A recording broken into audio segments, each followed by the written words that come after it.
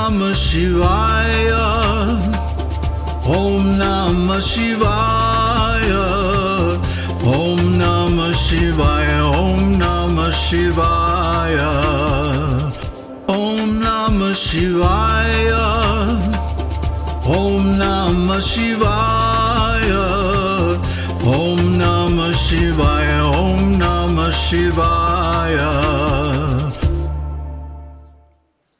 Namaste. Well, it's a bracingly cool morning up here in the mountains and wakes you right up.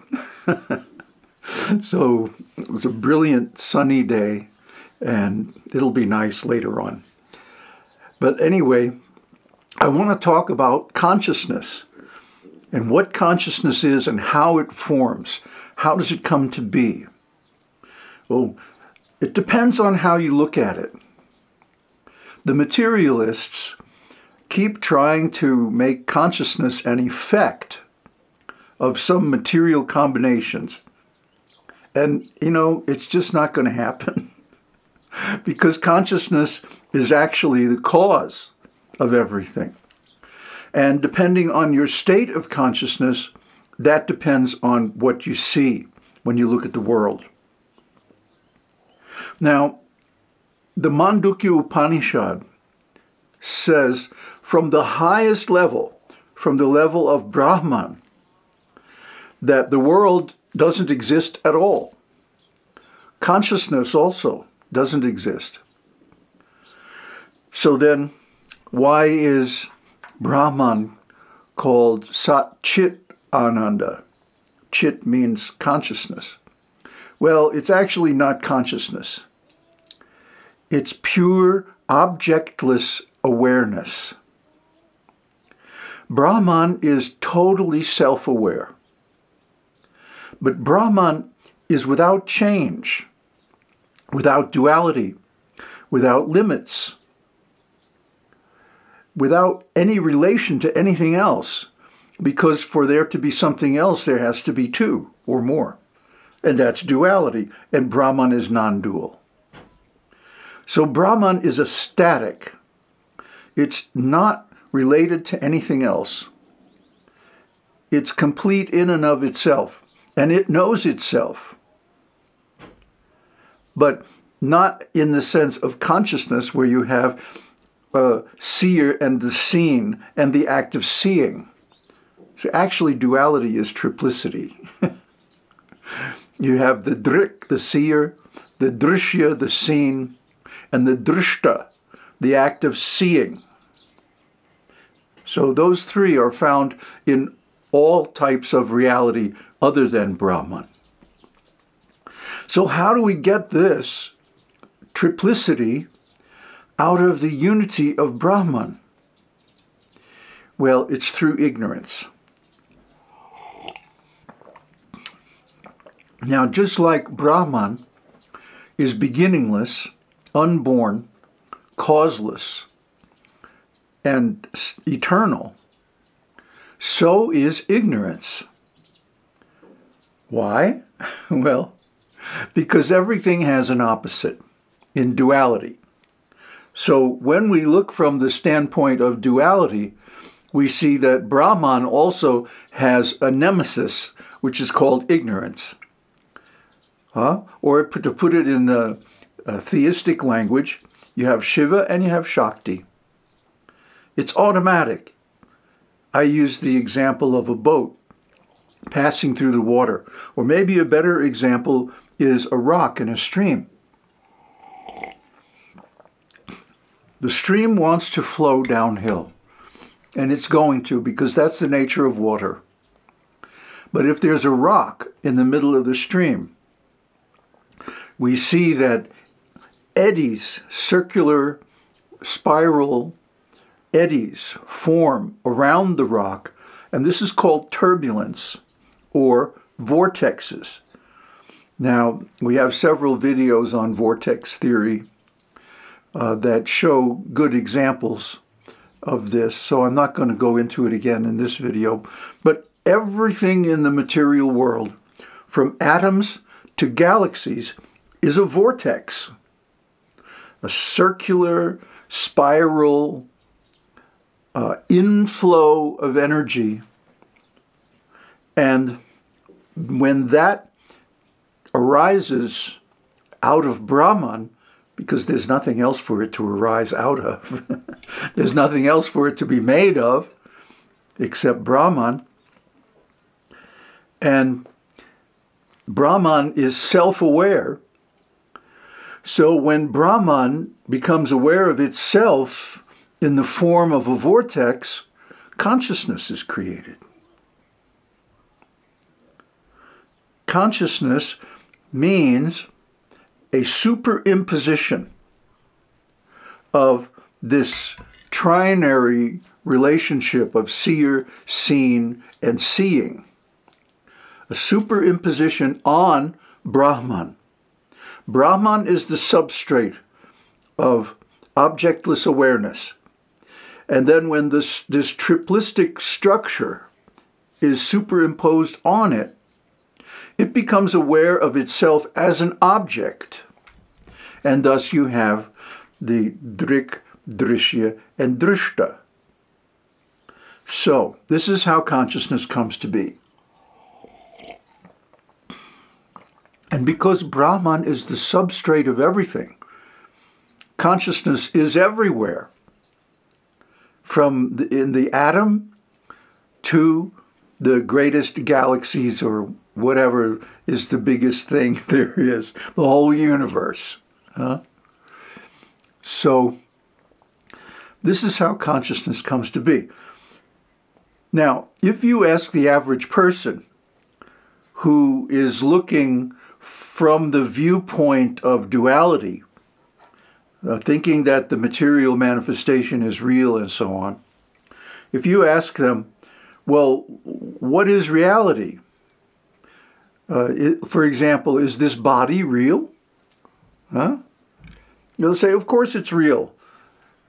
And you ask them to prove it. Why is it real? Because I can see it. Well, Advaita philosophy says just the opposite. If you can see it, if you can perceive it, it's not real. Why is that? Because to perceive something requires duality.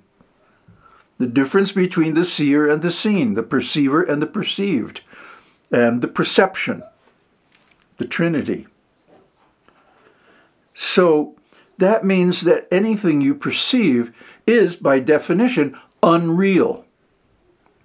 And why is that? What is the proof of that?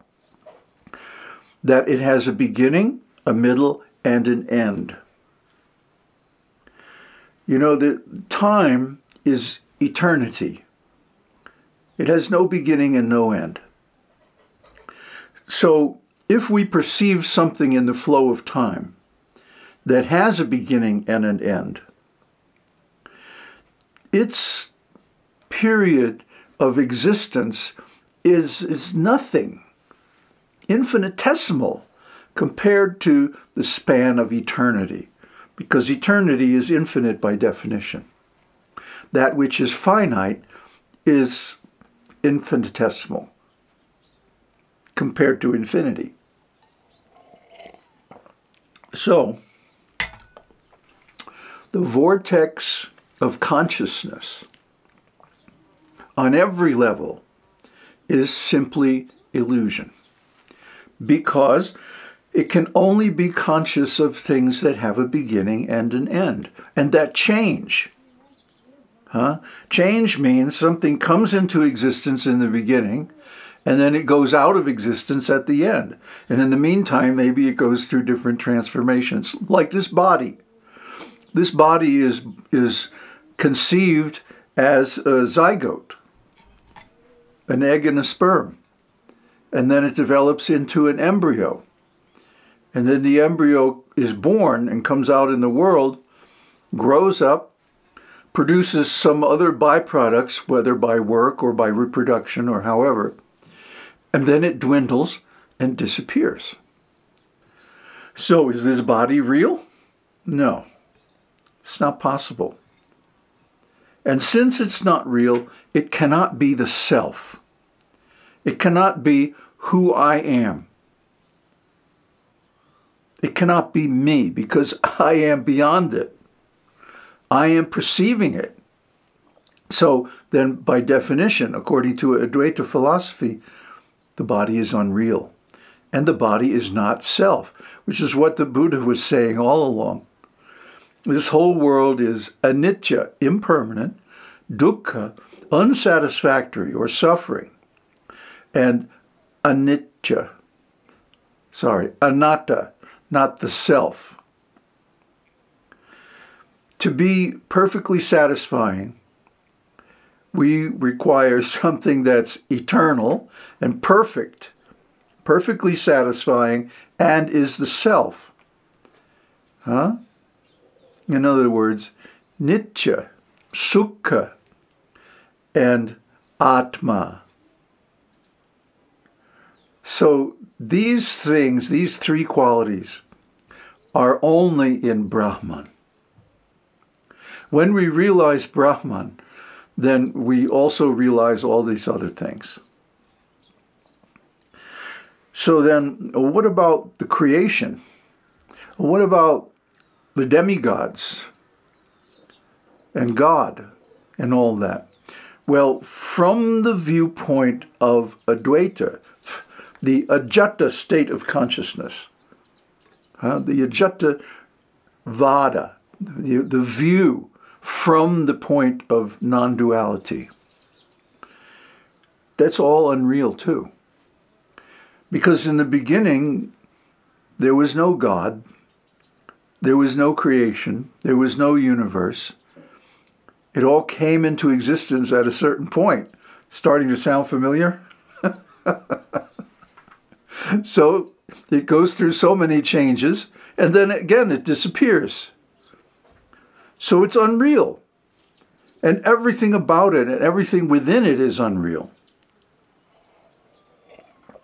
including things like Vaikunta and the higher lokas Brahmalok, Janalok, Tapaloka, uh, all these higher planetary systems. Mm, what to speak of our own earthly planetary system? It's all unreal. So then, why are there so many scriptures that advise us to worship different gods? And why do we choose to focus on worship of Shakti and Shiva?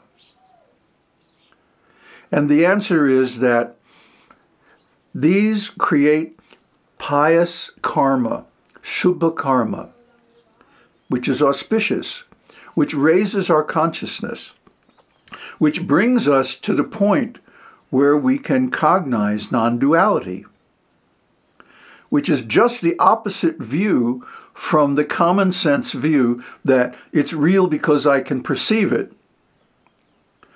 Advaita says if you can perceive it, it's definitely unreal. It's the snake. Then the rope. The rope is real, the snake is an illusion.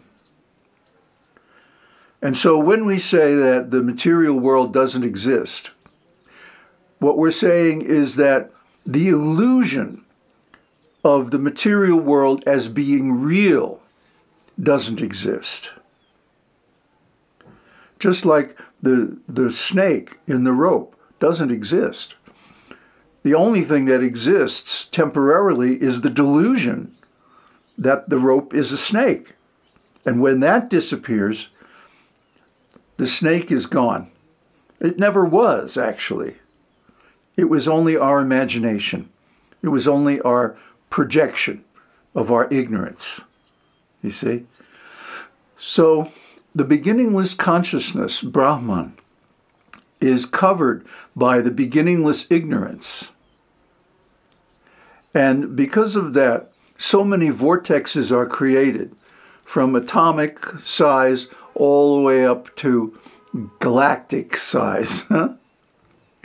and all of these entities have consciousness because they have awareness of things other than themselves. This is duality. This is illusion. This is Maya, that which is not. And this, by overcoming this through knowledge, huh, not necessarily by mystical meditation or um, being zapped by some guru or some god or goddess or something, huh, but by knowledge, jnana, by knowing what the truth is, we can overcome it and we can realize Brahman. How do we realize Brahman? Simply by recognizing it. Because we all experience Brahman every single moment of our lives. Waking, dreaming, sleeping, enlightened or not, doesn't matter. Because we are Brahman. We're Brahman, but we're covered by ignorance. So we have three states of consciousness and one that's beyond, Turiya. And when we come to know these things, then we can see them. And by seeing them, we become free from the illusion of the temporary material existence. And that's enlightenment. That's liberation. That's Satchitananda. That is the ultimate truth. Aum Tat Sat. Aum Shakti Aum. Aum Namah Shivaya.